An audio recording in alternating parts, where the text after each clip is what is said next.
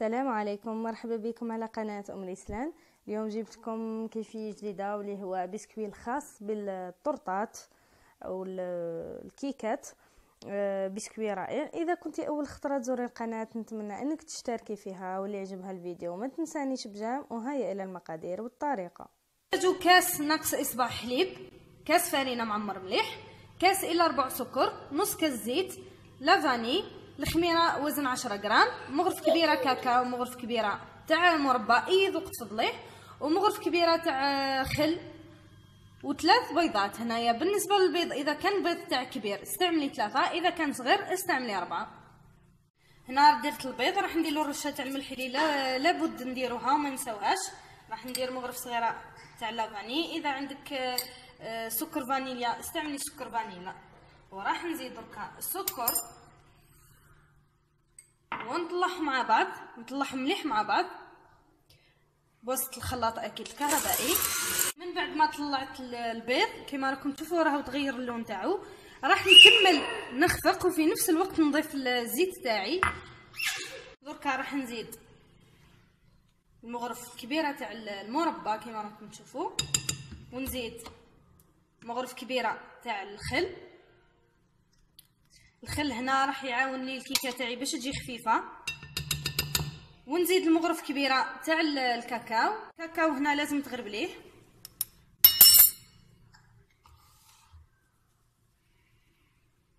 هاد الحبيبات نحاول نحلهم هكا. نزيد نخلط الكل مع بعض. بعد ما خلط الكل مع بعض راح نضيف الخميرة.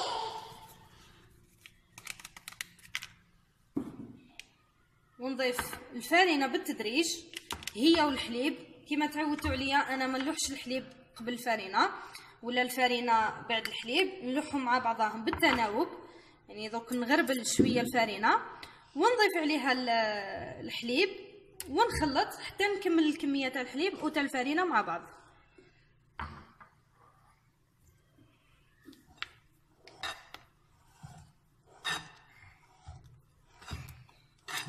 راح نكمل الفارينه والحليب من بعد نولي لكم.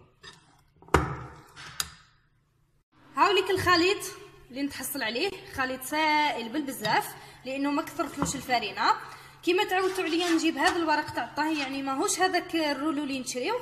هذا راهو يتباع بالكيلو. يعني كاين بنات اللي فهمتهم ما فهمونيش آه، لعل أنا ما عرفتش نفهمهم مليح. هذا الورق تلقاوه رولو. الرولو هذا يتباع بالكيلو في محل بائع لوازم الحلويات. راهم يشريوه أغلبيتهم يشريوه آه، المخابز ولا الباتيسري يخدموا به. هذوك أحيانا كي تروحي تشري طرف تاع بيتزا ولا طرف تاع باتيسري يعطيوك هذاك الورقة يحكموا.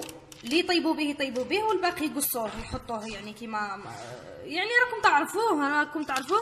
برك ما خرجتوش عليه. المهم هذا الورق أنا ندهنه بالزبدة بالزيت عفوا ونحطه في البلاطو. على واش نستعمل هذا الورق بزاف؟ لأنه نتحكم أنا في العرض تاعو. يعني ورق ورق الطهي اللي ما فين نخدموا به ورق الزبدة اللي هو هذا.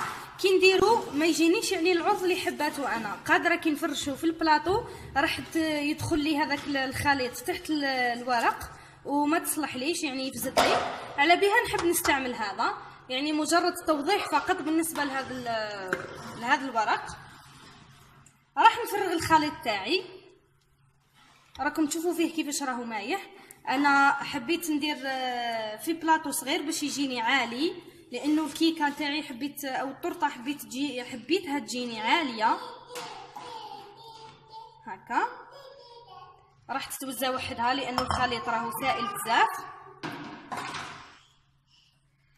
راح ندخلها في فرن الفرن يكون آه، مسخنينه من قبل على درجة حرارة آه، اللي ما يعني طيبي بها نتيا تقريبا درجة حرارة بين 120 وبين 150 درجة مئوية.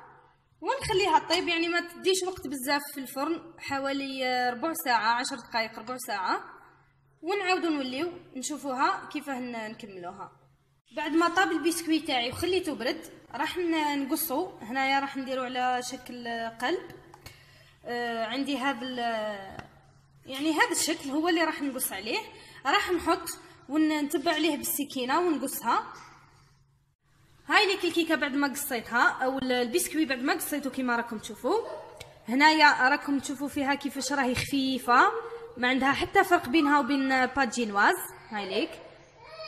يعني تتحكمي فيها وتشكليها كيما تحبي. هنا بالنسبة لهذا القطع كنت درتهم من ليشيت كنت حابة نزيد نديرهم طبقة رابعة لكن ما صلحتليش آه، قمت درتهم آه، درتهم هكا. هاد اللي شيتهم شكلت منهم قلوب صغيرة. بالنسبة للكريمة إذا قعدت من الكريمة تاع الطرطه الكبيرة استعمليها في هذه القطع الصغيرة. إذا ما قعدت لكش نوعي آه، يعني غيري في نوع الكريمة.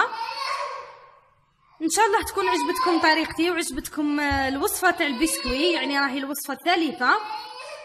وإلى اللقاء في الفيديو الثاني إن شاء الله.